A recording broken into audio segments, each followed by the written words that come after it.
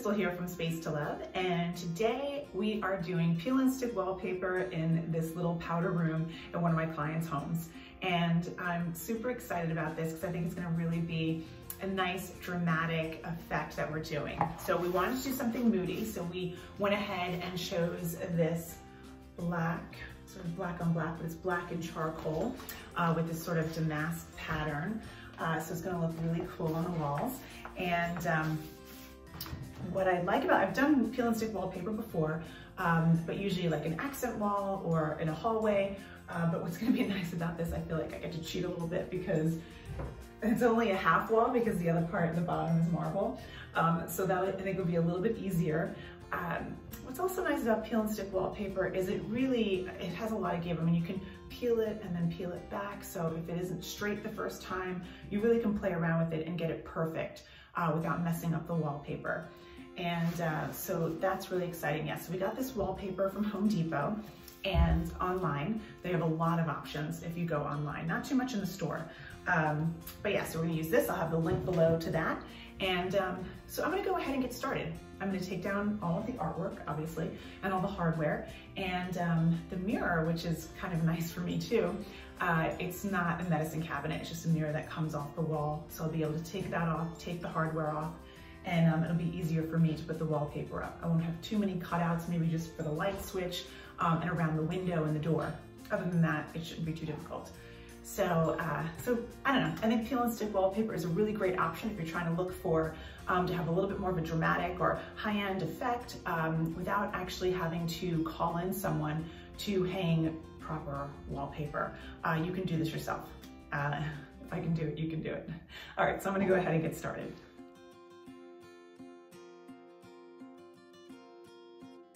So I went ahead and measured the wall and it's five and a half inches uh, starting from the marble to the molding. And um, so I'm gonna go ahead and give myself 10 extra inches, five on the top, five on the bottom, or four and six, um, just because we need that extra leeway to match up the pattern. So you wanna make sure that you have that extra space. So now it's easy have something holding down one end for you Going to 65, make a few marks. And then follow those marks for your straight line.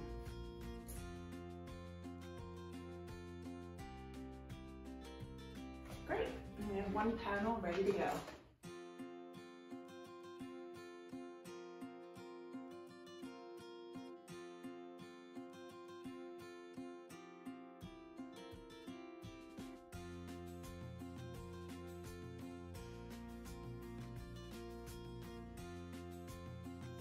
Okay, so I'm actually just doing the corner here and it's a little tricky, you know, because I had the three panels going straight across, which was nice and easy. And then here I had about five and a half inches left. So, um, so I went ahead and cut the panel. But before I cut the panel, um, I wanted to make sure that I lined it up first and that I cut from the left side over. So I knew that my straight edge would still be here with the part that I cut because um, I've done it before and I've actually, oh, I just went seven inches now looking at the other side and then I cut and the wallpaper was upside down. So little tip there. and um, also here, since there's like this little lip right here um, between the windowsill and the wall. So I thought, you know what, I'm gonna give myself another extra inch and um, have it wrap around the side here. So then it actually just fell right into this little gap between the windowsill and the wall. Um, and it worked out really nice that, because um, I don't know how I would have cut that small piece, it would have been really annoying. Uh, yeah, so that actually looks really good and really flush and nice.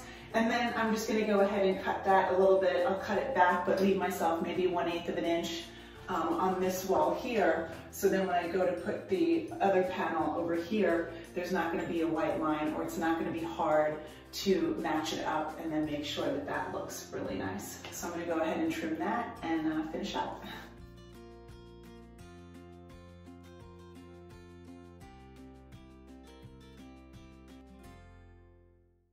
Okay, so I'm back in the bathroom and I finally finished this peel and stick wallpaper. This project was, um, it was fun. I mean, there is something satisfying about getting all the bubbles out of the wallpaper when you're putting it up. But, um, but the contrast, the black wallpaper with the white was very tricky because you have to be, it has to be perfect. Your edges have to be perfect. Um, otherwise you notice every little misstep. So this was definitely my friend. Um, and this was really helped getting the bubbles out too and kind of straightening it out. So this was great, um, but it really helped getting it down at the bottom here and then actually using your box cutter and just like taking your time and getting that perfect cut uh, just so it looks really nice. And um, yeah, and even like up on the top too, really needed. Uh, you just need that just extra care, extra time. Make sure your blade is super sharp. And um, I think that'll be helpful if you're doing something like this with the high contrast. I have to say, the other peel and stick wallpapers that I've done was like white wallpaper with a cool pattern, but it was on white walls. And then there was another, um, I did like a blue with a pattern on it, but it was on blue walls because it was just an accent wall. so um, yeah, it was definitely more forgiving uh, when you're, you know, when you have the same color or the back um, with the background. Anyway, I love the results. I think it looks great. I think my client's gonna be really happy with it. Um, it definitely has a moody, cool vibe in here, so much better than just the white. And, um, and yeah, the contrast with the white marble looks amazing. Uh, yeah, so I hope you found this inspiring and, you know, give it a try. And it's super fun. It can change any little room or maybe a closet. Um, yeah, so if you have any questions, please comment below. Uh, definitely like and subscribe. And um, thank you so much for watching. Until next time.